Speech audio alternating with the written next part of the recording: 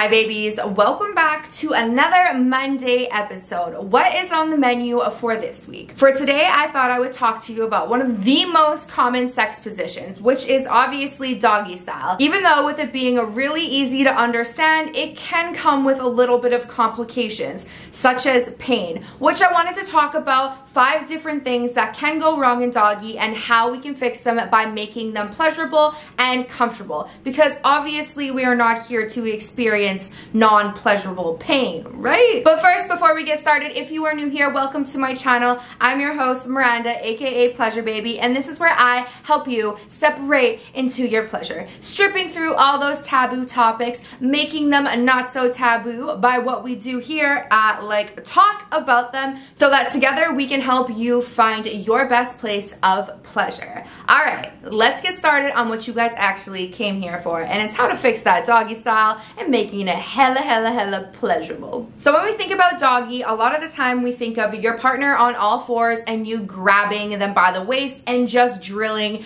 and slamming them and that can be really uncomfortable. However, fear not, there are definitely different techniques that can help you not experience that amount of pain or discomfort that you're experiencing. Lucky for us, this is a super easy to modify. So let's start off with the first thing that can go wrong. And it's when the penetration just feels way too deep. You know, that cervical cramping, that deep pain, it kind of makes you feel sick. And for the penis owners out there, it's that exact same feeling when you get kicked in the balls.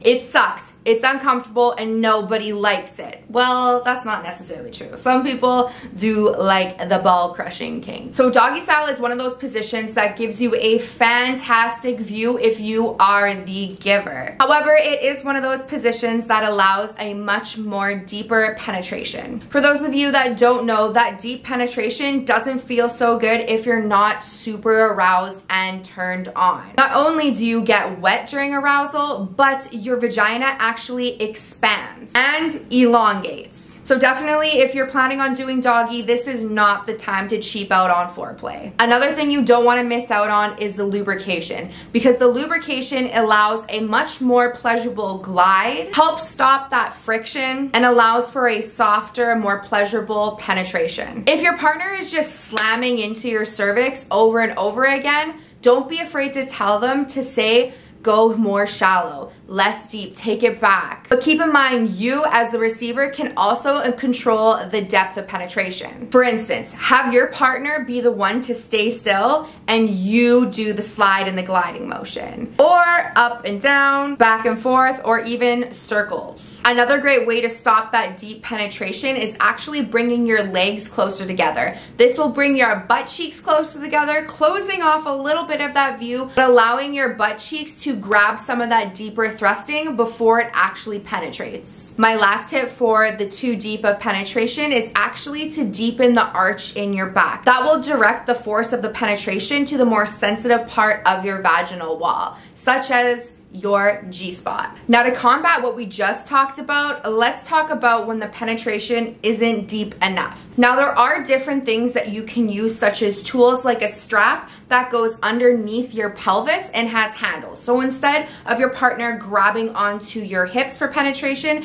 this allows them to grab onto the handles. This allows your partner to grab and gain more leverage. You can also do this position standing where your legs are spread apart and your butt cheeks are also spread apart too. That allows your partner to have the ability for a deeper penetration and overall just better access. God, I can't even speak anymore. What the fuck is going on? The third most common complaint is the lack of support in the belly region. It could be because you are not enjoying the way that your belly is hanging during the doggy style position or for the fact that you just don't feel supported or your abdomen isn't strong enough to keep it from your back arching too much where you are starting to experience low back pain. Now there are two fixes you can do for this. One, you could either stack a bunch of pillows underneath your pelvis to give you that help up and prop you in a good position and also stop your belly from hanging or moving or you could lean over the bed, the couch, a chair, anything that you can find to kind of give you that belly support. Now, if you're looking for something that is a little bit more comfortable, and if this is a position that you do enjoy and you want to frequent a little bit more, I suggest investing in something like a proper sex pillow or wedge to give you that support that you are needing. Now, I had talked about the belly strap in the last one with the handles on the side. That could also be used to secure your belly in the right position that makes you feel comfortable as well.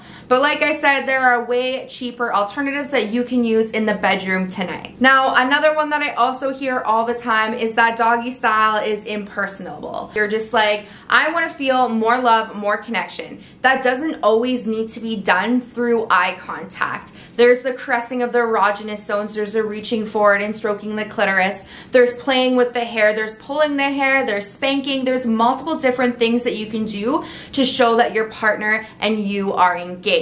Now, one of the awesome things about doggy is that you're not just forced to be on all fours. They can still remain in you and you can still come up and give them a kiss. Also, if eye contact is your thing, look over your shoulder. Check it out. See what the hell they're doing. Make eye contact that way. You can make it more personal. It just depends on you and you engaging with your partner. So what about if there is a height difference, meaning your partner is substantially taller than you or you are taller than them? What can we do to bring your penis and your vagina down to the exact same level? A lot of the time, this can be fixed with your partner standing and you kneeling on the bed or completely bent over the bed and hanging off. This can also be done with the Liberator wedge that I was talking about. Another great way to modify this doggy style position is actually you laying flat on your belly, your partner inserting, and then you slowly raising your butt up to hit that exact position that you were looking for.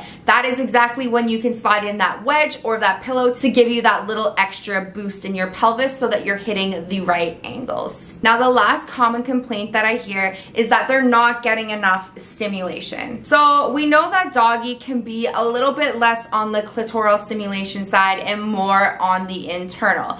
Now, that doesn't mean that you're less likely to climax in the position. It just means you need to be able to navigate and figure it out. So what are you and your partner willing to do?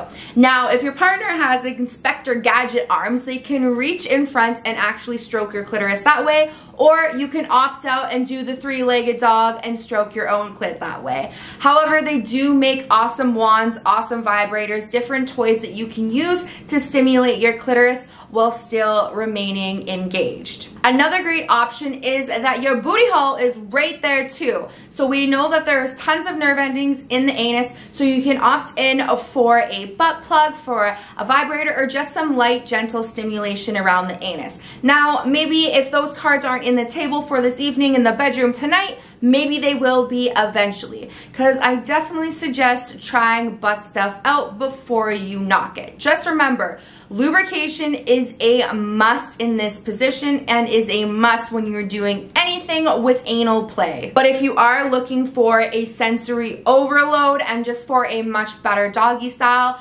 try to use that vibrator or try to dabble into a little bit of butt plug stuff because when you put a butt plug in and you have a penis or a strap inside of you, it just hits differently. The anus, the way it's lined up with the vaginal canal, allows a little bit more pressure to take place, giving you overall stimulations on all nerve endings. I mean, it could be like a trifecta. All right, babies, that is all that I for you this evening. Now, I hope any of these tips were able to help you out making your doggy style a little bit more pleasurable and a little bit less painful. Now, if you like this video, make sure you give it a thumbs up and don't forget to subscribe to my channel because you never want to miss a video. Coming out every single Monday and every single Thursday. And if you're into short form content and you want to check me out on other platforms, head over to my Instagram and my TikTok where you will see much more of me. And if you're into seeing what's going on in my daily life, my Instagram stories will definitely be the place for you. Now, if you have any questions or comments that you want to leave, drop them down below or head over to my IG DMs where I will answer you there. All right, babies, I will see you on Thursday for another juicy episode. Enjoy your doggy.